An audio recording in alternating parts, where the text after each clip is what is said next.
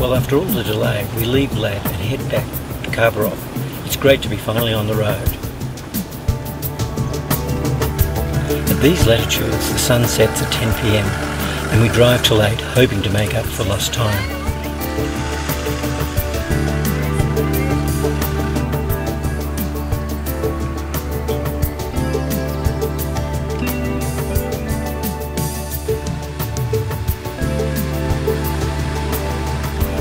Although the road is sealed, it will take us over 15 hours to do the 760 kilometres and provide harsh reality to the Russian roads ahead.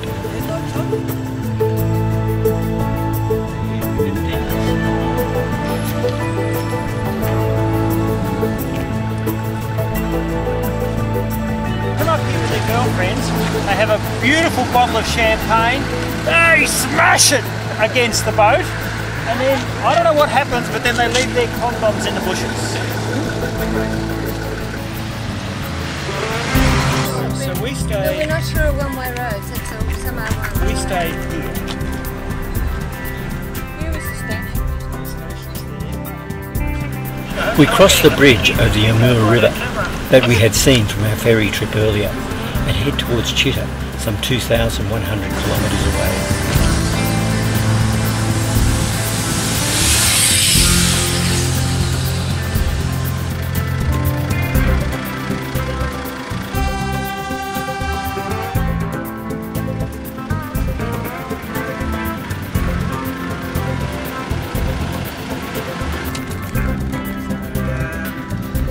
The roads are extremely rough and we drive for hours at 30 or 40 kilometres an hour.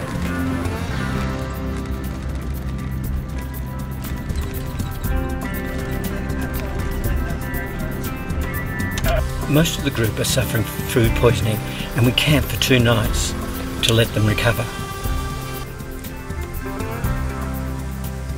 I noticed a small oil leak the other day when we picked the car up and um, thought I'd have a look and what we found has the um, oil filter has been rubbing on the new cross member that holds the bash plate in and it could have rubbed through and caused a big trouble.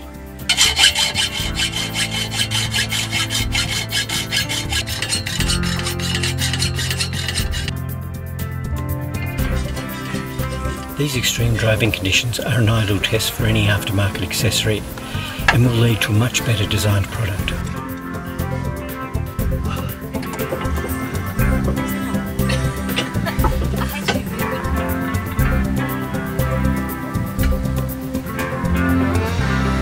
Refreshed after our stop, we push on towards Chita.